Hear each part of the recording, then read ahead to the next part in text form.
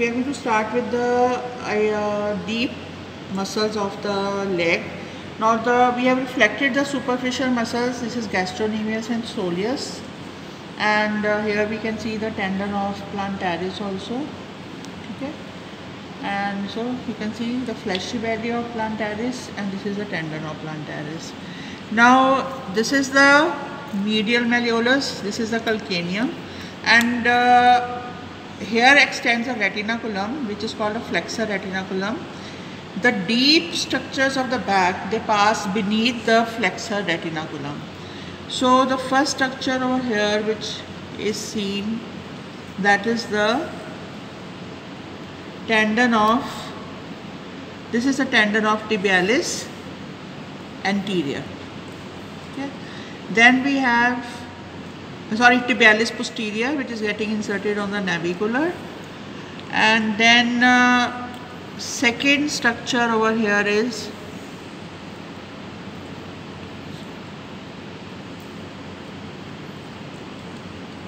this tendon. You can see this tendon this is flexor digitorum longus. And you can see if I uh, pull it you can see the pull comes here because here we have got the tendons which are going to the second to fourth digits.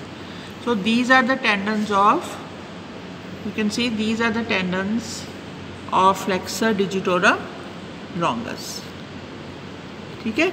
Then uh, we have the, this is the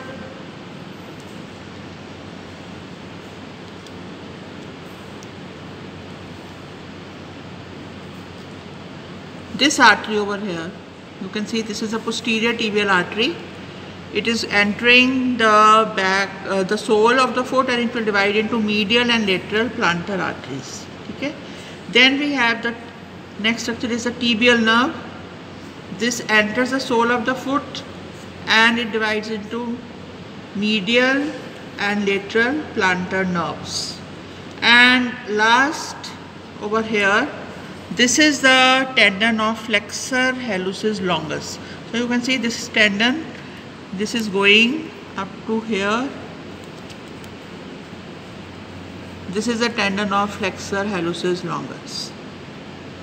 Okay, when I pull it, you can see the pull is over here. So this is the tendon of flexor hallucis longus. So these are the structures which pass beneath the flexor retinaculum from medial to lateral side.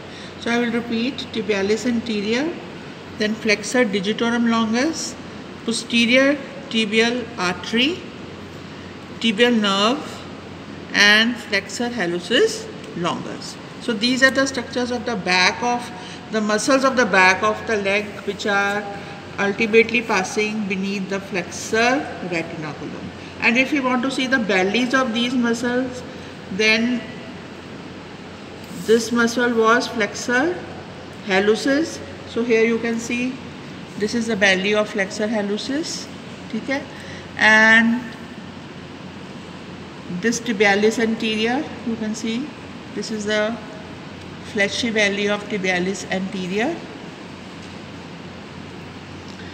And over here this is digitorum so these are the fleshy fibers of digitorum muscle okay, they are rising from the back of the posterior aspect of the tibia. Okay. So this is all about the deep muscles of the back of the leg